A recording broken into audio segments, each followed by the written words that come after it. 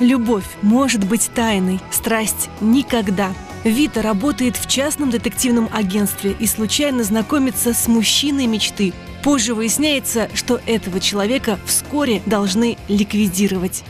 А что, не понимаешь, что за это бывает? Может просто отстранить ее? Я не то что отстранить или уволить, я ее закопать могу.